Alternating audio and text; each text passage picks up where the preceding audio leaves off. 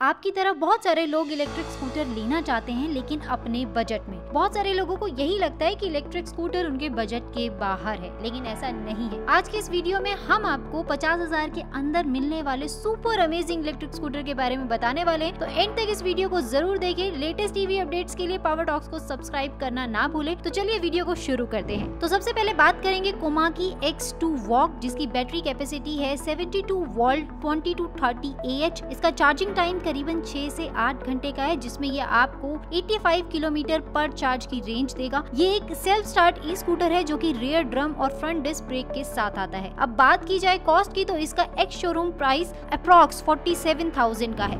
Bounce infinity even इसकी बात की जाए तो इससे पावर मिलती है 1500 BLDC मोटर से, जो चार घंटे के चार्जिंग टाइम पे 85 किलोमीटर पर चार्ज की रेंज देती है। इसमें फ्रंट और रियर व्हील दोनों में डिस्क ब्रेक दी गई है। ये पुश बटन के साथ साथ ब्लूटूथ जैसे एडिशनल फीचर भी देती है। साथ ही तीन साल की बैटरी वारंटी भी इसमें आपको मिल रही है, जिसका एक्स शोरूम प्राइस है approx forty five thousand Avon scooter ये अपनी रेंज में सबसे स्मार्टेस्ट ई स्कूटर है, जिसमें टू हंड्रेड वोल्ट की BLDC मोटर यूज़ यूज्ड है, जो आती है 48 eight volt twenty H battery capacity के साथ। इसका चार्जिंग टाइम 6 से 8 घंटे का है। इसमें आपको 65 किलोमीटर पर चार्ज की रेंज मिलेगी। सेल्फ स्टार्ट होने के साथ साथ इसमें आपको रियर और फ्रंट दोनों में ड्रम ब्रेक्स का इस्तेमाल किया गया है। साथ ही इसकी प्राइस की बात करें तो इसका ex showroom price approx forty five thousand rupees है। कुमाकी एक्स वन जिसकी battery capacity sixty volt twenty to 30 H है, इसका चार्जिंग टाइम करीबन छह से आठ घंटे का है, जिसमें ये आपको 85 किलोमीटर पर चार्ज की रेंज देगा। ये एक सेल्फ स्टार्ट ई स्कूटर है जो कि रियर ड्रम और फ्रंट डिस्क ब्रेक के साथ आता है। जिसका प्राइस की हम बात करें तो price approx forty five thousand तक जाएगा।